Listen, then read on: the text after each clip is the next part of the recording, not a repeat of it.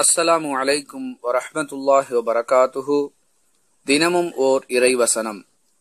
அல்லாஹுவின் பள்ளிவாசல்களில் அவனது பெயர் கூறப்படுவதை தடுத்து அவற்றை பாழாக்க முயல்பவனை விட பெரும் அநீதி இழைத்தவன் யார்? திருக்குர் ஆன் அல் பக்கரா இரண்டாவது அத்தியாயம் நூற்று பதினான்காவது வசனம். அன்புள்ள சகோதர சகோதரிகளே அல்லாஹுவை வணங்குவதற்கும் அவனுடைய பெயரை போற்றி துதிப்பதற்கும் பள்ளிவாசல்கள் ஏற்படுத்தப்படுகின்றன.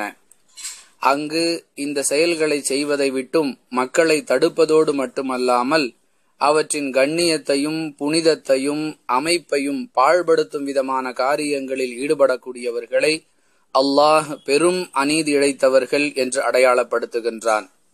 எனவே அல்லாஹுவை பயந்து இது போன்ற காரியங்களில் ஈடுபடக்கூடியவர்கள் தங்களை தூரமாக்கிக் கொள்ள வேண்டும். இதுவே இவ்வசனத்திலிருந்து நாம் பெறக்கூடிய பாடம். வாஹிருதவானா அனில் அஹமதுல்லாஹி ரபில் ஆலமீன். அஸ்ஸலாமு அலைக்கும் வரஹமத்துல்லாஹி வபரகாத்துஹூ.